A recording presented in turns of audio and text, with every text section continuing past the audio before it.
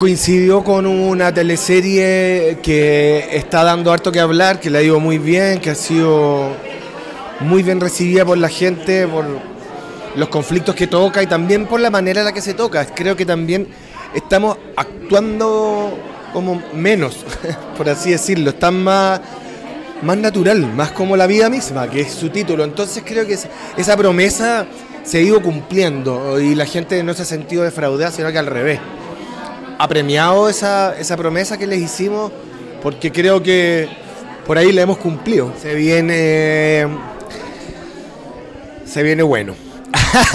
se viene bueno, así que no. No se despeguen del televisor, no, no. Sino que eh, no. Porque a veces los alargues suenan, eh, la gente como que dice chuta, que lata.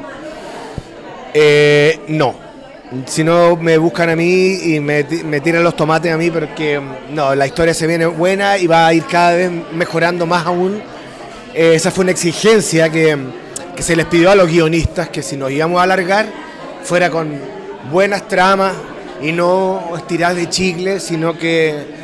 Y todos estuvimos de acuerdo y todos le pusimos ese como esa exigencia a la Larry, entonces estamos todos haciendo nuestra pega lo más concentrados posible para que salga bien.